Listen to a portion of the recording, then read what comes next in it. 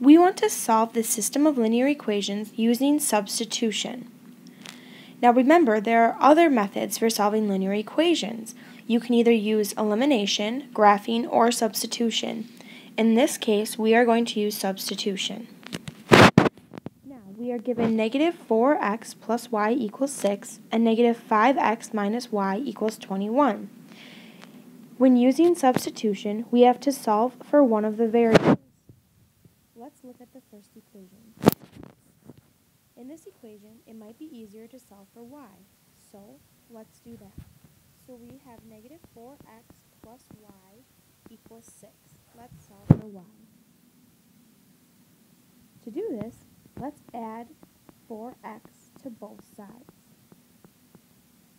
y will then equal 6 plus 4x.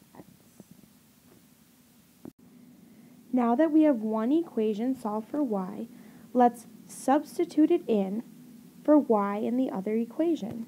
So we will have negative 5x minus y Well, we solve for y. So let's plug in what we found y equaled.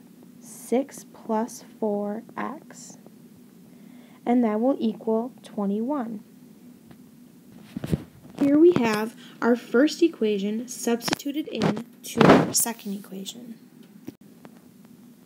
Using this equation, let's solve for our variable x. To do this, let's keep the negative 5x. Let's distribute the negative sign to both pieces, leaving us with negative 6 minus a 4x equals our 21. Now, let's get the x's over to the left side and all non-x's over to the right side. We want to solve for our variable x.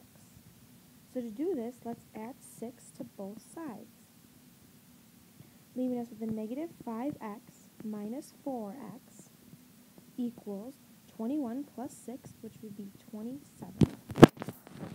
The last step, let's combine our x's. When we combine our x's, a negative 5x minus 4x will give us a negative 9x equals our 27. The last step to isolate our variable x would be to divide both sides by negative 9. Remember to divide both sides by negative 9. Our negative 9's divide to 1, and we are left with x equals 27 divided by a negative 9 will give us a negative 3.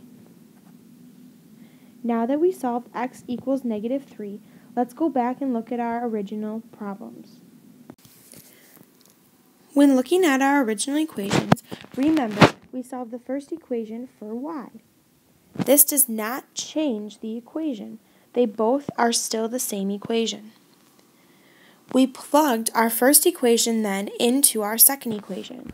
When we did that, we found x to be negative 3. Now we want to take that negative 3 and plug it back into our original equation. I'm going to plug it back into the y equals 4x plus 6. You could plug it into the negative 4x plus y equals 6. So we will get y equals our 4 times, we found x to be negative 3 plus 6. So y will be 4 times negative 3, which is negative 12, plus 6. So y will equal negative 12 plus 6, or negative 6. So we found y to be negative 6 and x to be negative 3. Another way we can write this is x, comma, y in our parentheses. So we could write this as negative 3, negative 6. This is our point of intersection for our two original lines.